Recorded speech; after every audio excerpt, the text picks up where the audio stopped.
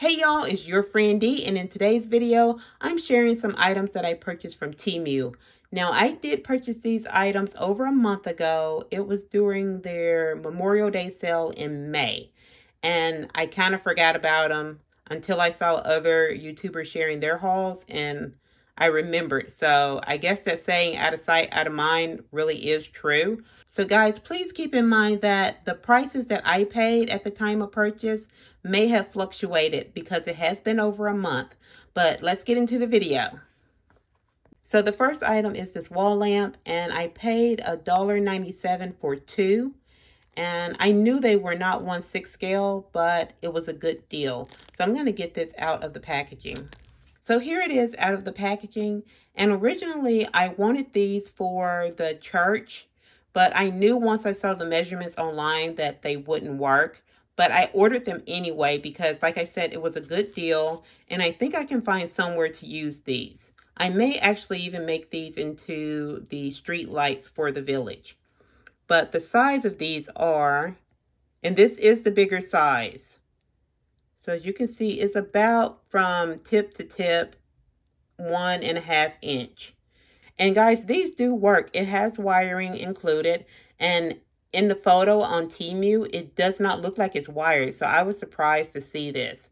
And you get about 14 inches of wiring attached already. So I'm going to get a battery and show you guys that these do work.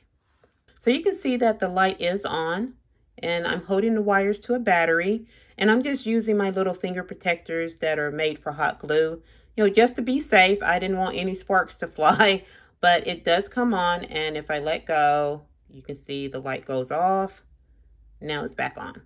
So yeah, I was really happy to see that these work. So here it is next to Tanja. And it is smaller than what I wanted for the church but it may be okay to use as a porch light on one of the houses. And like I said, I may try to use them as street lamps. The next item is this dress form. And on the website, it is labeled as 11.81 inches doll form. And I paid $1.52 for this. So it comes in three pieces. You got to put this there. You don't get any instructions and then this part goes here. Here's a closer look at the form. It's a very pretty design. Here's the back and the base. Not sure what the holes on the side here are for, but I can always turn that towards the back yeah, it's, it's a really nice form. I just wish it was a little bit taller. So here it is next to Tanja. And as you can see, this is not 11.81 inches. This is more like eight and a half inches. So originally I wanted to use it for my longer dresses like this one, but that's not going to work. But the shorter dresses look just fine on it, so I'm not mad at it. I got some more of these fashion packs for my Ken doll. And the last time I purchased from this buyer, they're called Lucky Town. I really like the quality, so I got two more. Here's our first outfit. I'm going to put it on Roger. Here's the outfit on Roger, and everything fits really good. It was easy to get on. The only thing is the color is a little bit too large for me. I wish it was a, a little smaller. I may actually take the collar off. But other than that, I like this outfit. So here's a close-up of the shirt. The stitching is really nice. There is one loose stitch here, but that's no problem. I'll trim that off. And they continue the stripe detail on the sleeves. So that was a nice touch.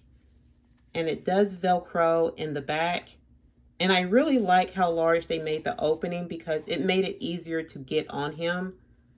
And if you have the new buff Ken, I think these shirts are large enough to fit him without any issue. Because Roger still has some room in here and on his arm. So yeah, I think a buff Ken would fit pretty nicely in these shirts. And the denim pants are very nice. They're just basic. As you can see, there aren't any pockets. Velcro in the back All of the stitching is really nice. And it's hard to find Barbie fashion packs for Ken that come with pants. So I'm trying to get my collection of uh, Ken clothes up. And these are going to be a nice addition. Here's the second outfit. So let's put it on Roger. Here's our second outfit. And there's parts of it that I like and that I don't like.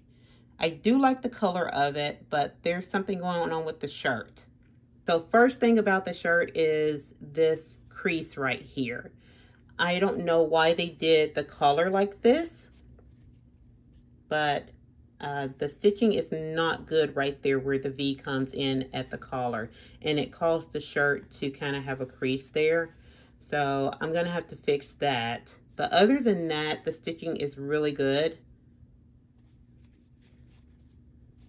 And it velcros in the back. This one is a little bit more fitted than the first one.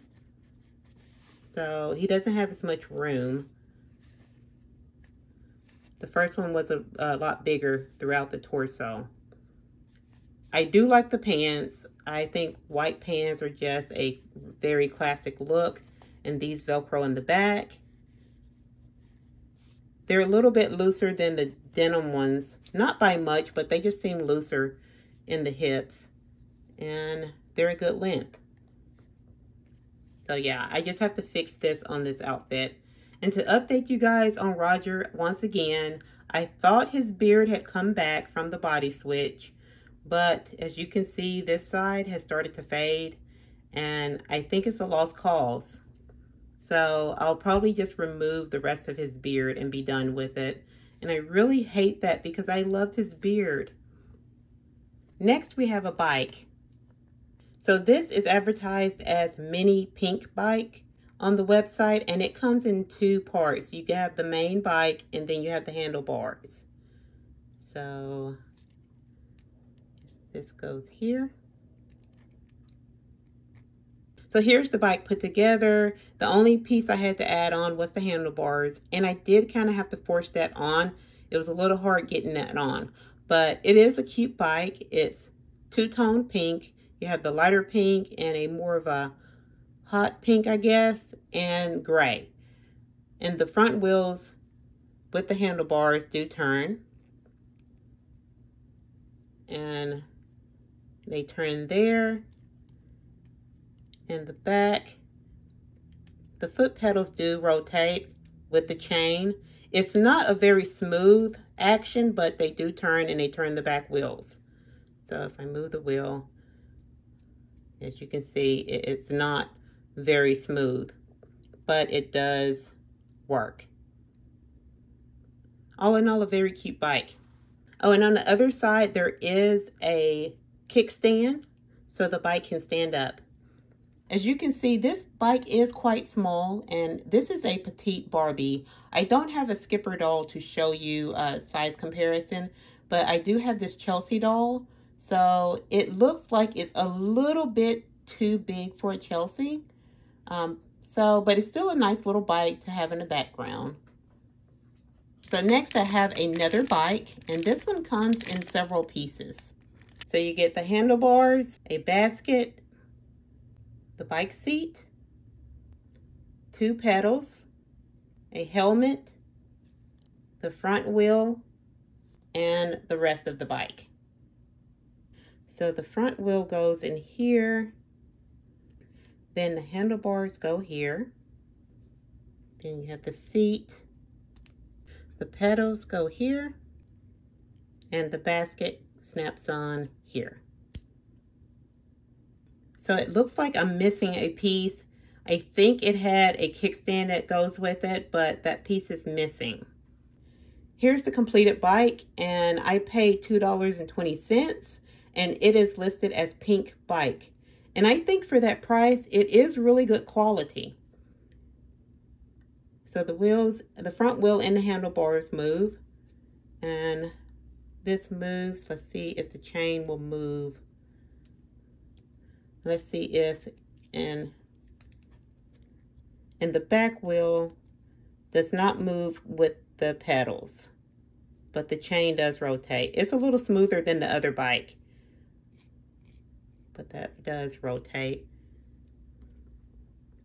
And you have this little back storage section there. So I wish I had the kickstand, but it is still a nice bike for $2.20. Oh, I found the kickstand. It had fallen on the floor. So the kickstand goes here. And the bike can stand on its own. So here's the bike in front of different size dolls. As you can see, it's way too big for the Chelsea. I think it's the perfect size for the petite Barbie. And then Tanya is an original size Barbie. And I think it's a good size for her too. Here's Tanya on the bike. And it's really hard to position her on it because there aren't any braces to help stabilize the doll on top of the bike. But as you can see, it is a good size for her. And I forgot to mention that the only doll I could get the helmet on was the Chelsea doll. So we have another bike. And like the other one, this one comes in several pieces. You have the handlebars, four pedals, a basket, the front tire, and the main body. Now this is a tandem bike. So I'll put front tire on, the handlebars, and you have four pedals.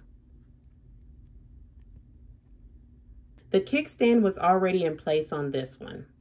And we have the basket. And this bike has no issue standing on its own.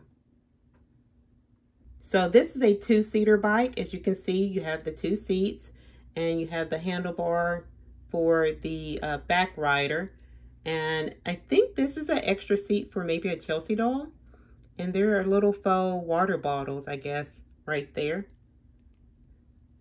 And the front tire moves. And the hand and the handlebar and the front tire can swivel.